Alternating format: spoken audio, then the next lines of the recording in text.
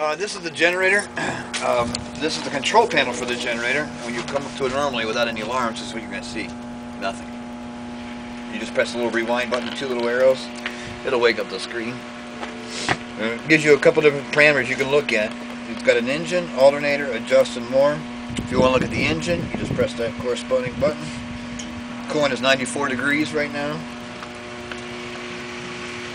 Oil pressure is zero, of course, it's not running.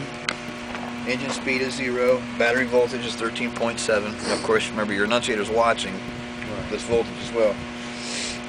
Your governor duty cycle. I mean, it tells you a lot more things what you really need to, need to know. Uh, alternator, it'll tell you your line-to-line voltage, line neutral voltage. It'll actually tell you um, your amperage, frequency, your total power per. If you're under a, under a load in an outage, it'll actually tell you what kW you're actually pulling out of the building. Um, it'll tell you power factors. It'll tell you way too much information. But those those two are how you get in each parameter, whether it's engine or alternator. Uh, the thing that's probably most crucial for you guys is, is your running hours. Because I don't know if you're probably going to create like a little log sheet of some kind, uh, just for routine once a week or whatnot. Uh, that's going to be under more. And again, all this is going to be in your manuals once you finally get them. There's like little ladder diagrams. You can get to each whatever you want to get to. You press more. It comes up faults, system, history, and more. You want to hit the history button. And as right now, it's telling you that it started 24 times since its day of conception. And right now it has 11.1 hours on it. Okay.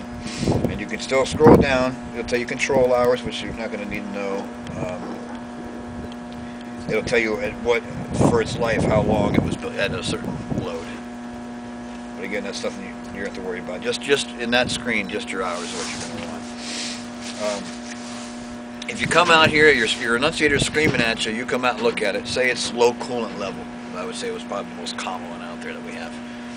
Um, it's going to it's to scream at you. It's going to say check gen set. You come out here, it'll say it'll say low coolant level. Uh, and what it is is just what it is, low coolant level in the radiator. Okay, but as it looks, it'll sh it'll show you what it looks like. Oh, we don't even have any old faults. But it'll tell you what fault it is and what it what it is on here. And again, once you call call us for uh, for a service call, whatever, we're going to ask you what it what this says. Okay. You just say, hey, I have low coolant temp or low coolant level, or it could say an array of different things. There's hundreds and hundreds of faults you can have. But that's that. The uh, the switch right here, it always be an auto.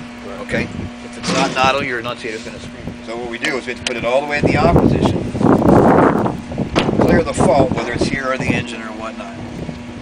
And this is something that maybe we'll have to do, but if we're talking to you on the phone, you know, and if you're in an outage and we're out, you know, somewhere else in the site, we just we can walk you through this a little bit. Then you can press the fog nozzle reset button. It'll reset. You're back to normal, and then you just put it back down. Okay. Okay. This is one- this is a, a nice user-friendly thing because it'll tell you everything that's going yeah, on it here. is, yeah. If it's ever an issue, that's what it's going to be. Okay. Okay. Um, this is a 60 kW.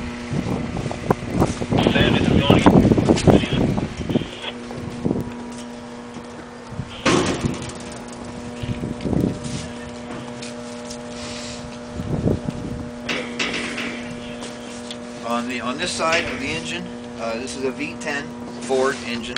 Okay. Uh, on this side, we have the block heater, which is this down here. This will always keep the engine nice and toasty, summer, winter,